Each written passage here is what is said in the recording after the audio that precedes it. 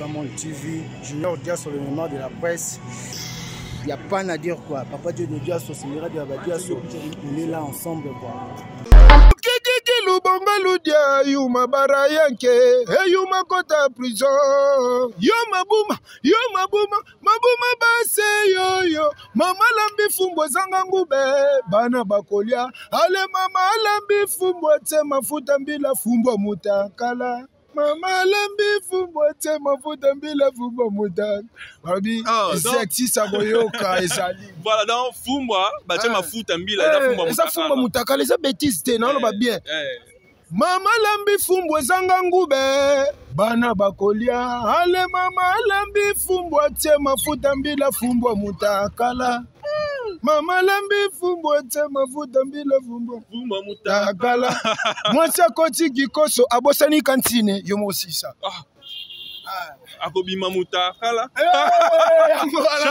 yango na mwasi akoti akoti na dushe abosani kantine akobima ndeni yango wana elakisi fumbo mutakala na biloko mpo betaka bakoto kuna euh, oyo ola msu ah, nabeta donc de travaille to na mpe nanga selo ndeti nabwaka eloko moka aleyuma na yenke baswani yo mafingi yanke maboko evimba lokola maîtrese de maître ezongiseli ye kama lekole na mokongo elelele na mokongo ah. wana baseri wana donc nzoto na nzoto mm, nzoto na nzoto ah, nzoto na ah. nzoto mm. donc euh, au gré de vague esika chapitre azwaka mwa opportunité déjà na kosala mwa baevre moko boye mm. donc bato bayebaka ngai donc mpe euh, na ngai selo esika azali mpenza neti donc chapitre chapitre eh, lelo pembe na le padre ezalaki na ndenge nini contact wana ya kozala ya koya siko na jet set ouais balobi mutu oyo alingaka mosala mingi mpo hmm. tozalaka mpe na bamasa na ngai ebele bamasa na ngai ebele tozalaka na bango bafe na ngai selo scram nayebi te so baza na baniveau nini hmm. bamosusu mpe baa na baorchestre mosusu baobeta hmm.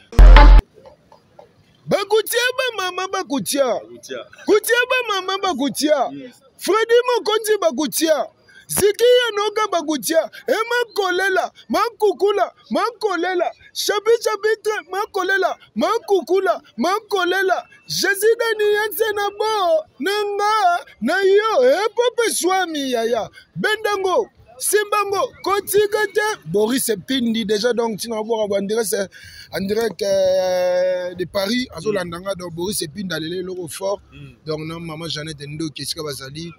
na londres baotala nga fort de kosala bien donc euh, boss de boss claude lukie bakwenu esika mm. azali na mosika Eh bien voilà, nous sommes là sur Kinshasa Mao TV, hein, en pleine répétition de Ferrego. La bon séjour à Cheta depuis Paris. Balobi Lobi Zalagi tombé sur France 24. L'artiste a s'exprimé qui très bien correct. Balobi Kendara Bongo. Donc Bisso et Kendara Bongo. Un grand merci à Ferrego, un grand merci à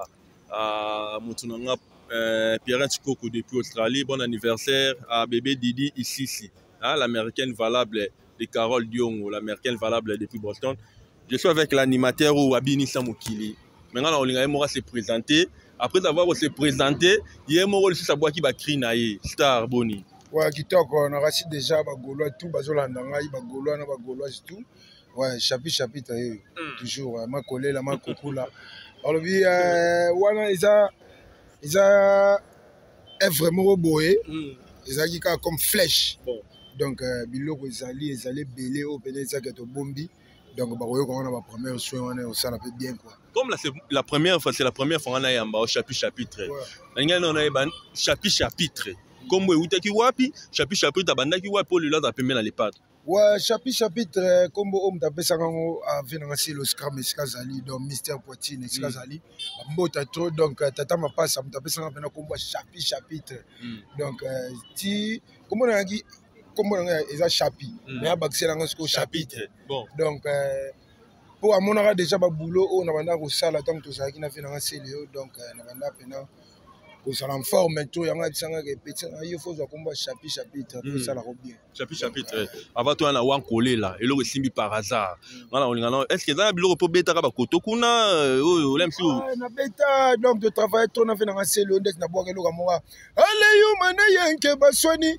yuma fingi yenke maboko evimba lokola maîtrese de maître zongiseli ye kama lekole na mokongo elelele na mokongo ah. wana baseri wana donc nzoto na nzoto mm, nzoto na nzoto eh, nzoto na nzoto donc au gré de vague esika chapitre azwaka mwa opportunité déjà na kosala mwa baœuvre moko boye mm. donc bato bayebaka ngai donc mpe na ngai selo esika azali mpenza merci donc chapitre lelo pembe na lepadre ezalaki na ndenge nini contact wana ya kozala ya koya sikoyo na jet set wa balobi motu oyo alingaka mosala mingi mpo mm. tozalaka mpe na bamasa na ngai ebele bamasa na ngai ebele tozalaka na bango bafe na ngai selo scram nayebi te soki baza na baniveau nini mm. bamosusu mpe baa na baorchestre mosusu baobeta na ngai nasalaki mpe mwa effort donc na concentre mpena makasi ti lelo ba jet set jésus de nuance toujours apesa makambo ndenge ezalaka kaka sikoyo ntango oyaki na jet set bayambaki yo ndenge nini mpo na jet set wana bareti nzele tozalaki na bamase ebele ebele baza wana mais sikoyo chapi chapitre oye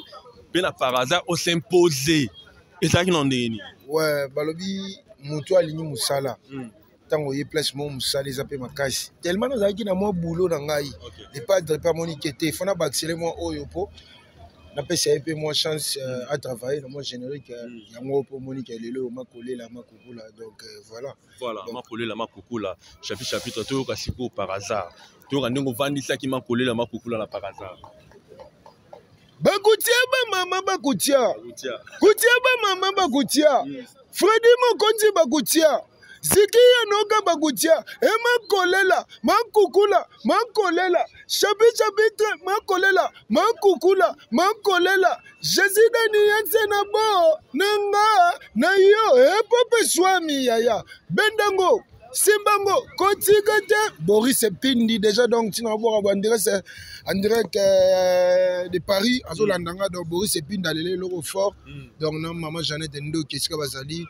na londres baotala nga fort de kosala bien donc euh, boss de boss claude lukie bakwenu esika mm. azali na mosika azolanda ngai na sur mpe donc euh, les amis de chapi chapitre mm. la fraternité andire ka luanda donc mm. baolanda ngai wana mpe na base na ngai na luanda baza wana bamare diyoyo banoel coiffure donc naa na base ya mabe na luanda ah, meme alakini mpe ifo oyebisa bato ke tito oyambi yo junior odiaso ayambi chapi chapitre seke base ezali mouvement euh, confirme donc ya osaba donc ya kosala mpena baje te nanga junior dia studio mm. yo oyebi makambo oyo ndenge mm. ekendaka donc soki oza na mwa soutien te donc eh, osala artiste azala te mais tellement soutien ezali donc mm. artiste eh.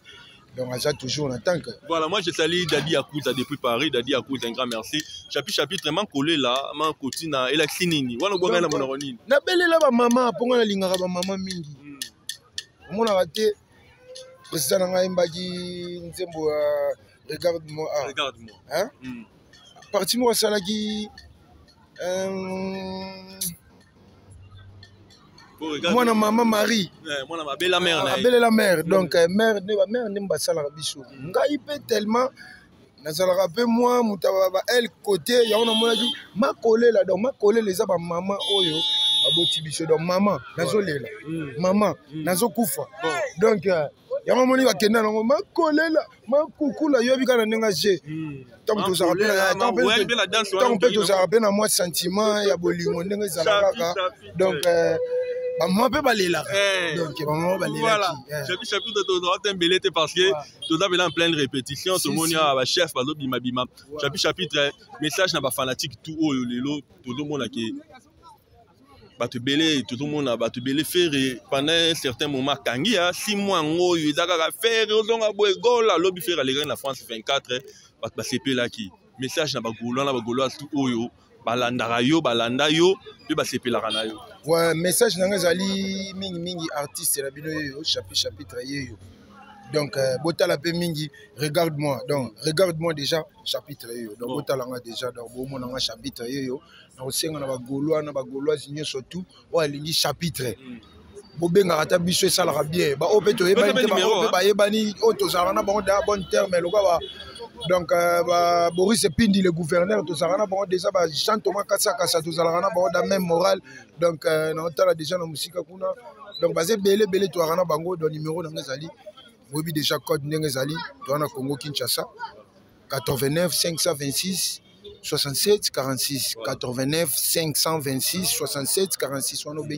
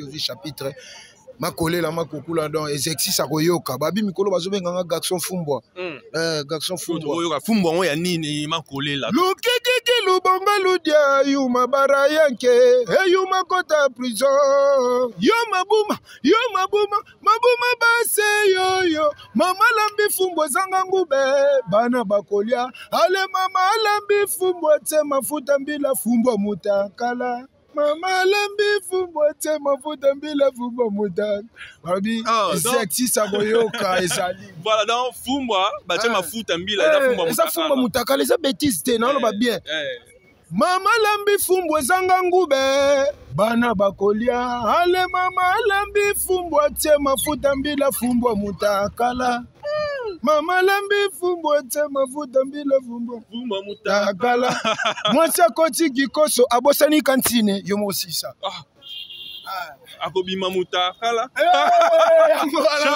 yango na mwasi akoti akoti na douche abosani kantine akobima ndenge yango wana elakisi fumbo mutakala donc tozela na harmonie babiloko oyo eza na harmonie biloko ezali ebele chapi chapi tozali mpena na makambo hmm. donc babiloko eza ebele ale tosimba motu tosimba mapeka tosimba libumu tobeta maboko kpankpa beta kpankpa beta e eh, toke balobi ntango cilunga ciwa cibanake na bino kotoyo bobeta maboko e ale nonononononono e eh, yagola ata koke na kinge batela ye kunana alobi eza mystique on aura encore le temps ya kozwa chapitre chapitre chapi chapi tapesi numero bo soutenir ce sont ba jeunes oyo lelo baza na kati ya jet set bazosala fierté mpo nde nabinaki par hasard te tozozela babiloko ya boye chapi chapitre ah. mais bato bayebisaka nga sikoyo ifo bolekaka mpe bemisa internet trop mpo internet mwa je chapi chapitre balobi tolekaka trop mais tozalaki na mwa repos mpo oyebi ke oyebi ke bapesa biso repos hmm. eh, mwa repos ezalaki na minute oyo sikoyo makambo ezongi hmm. yango naoyebisa bango exercice ya koyoka na bayokaki regarde mwa kala mingi te batya lisu matoi bokoyoka ba première soin bokoyoka ba harmonie mm. yango nazoyebisa bino ke mama lambi fumbwa nse mafuta mbila fumbwa mutakala apele mwa garçon fumbwa voilà eh, garçon fumbwa garçon fumbwa papa na francina mm. donc uh, yeyo chapitre chapitre makolela donc napesi bino bambota to junior napesi yo mbote atro nayebi ke cameraman na biso mpe oyo azwi dedo eh. image hmm. donc talaka image ya kitoko bazobisa polo gout donc naleli chapitre chapitre un grand merci oyo eza palin na yo donc à chaque fois tobanda ozala toyamba chapitre chapitre si si merci vraiment nasepeli merci chapitre chapitre voilà c'était la chapitre chapitre de Ferregola abonnez-vous massivement sur Kinshasa Mon TV Dias l'univers officiel nous sommes la chapitre chapitre tu es libre donc eh. nous sommes là en pleine répétition donc il y a il y a Chita Junior Odia sur le Neymar de la presse moi je vous dis un grand merci abonnez-vous massivement tokosalaka boulot ndenge ezalaka kua ah, ya neli neli mumpo depuis belgique napesi yo bambote to ya neli sere na nga moko alataka bien sere na nga ya neli Ah, nga na bieleli su ya Nelly, un grand merci à Pierre Koko, un grand merci à Carole Diongo. Carole Diongo, l'américaine valable, maman la Didi ici, ici, bébé Bozomona, naza sur cameraman na Alex, Didi ici, ici, l'américaine valable. Mwana moko moke, abotamini bakala mingi te quoi. Euh, yo soko botaka te, tali yo, euh, abotaka te, mais Carole Diongo aboti na ye. Un grand merci, abonnez-vous, Masilima Dieu de Dieu.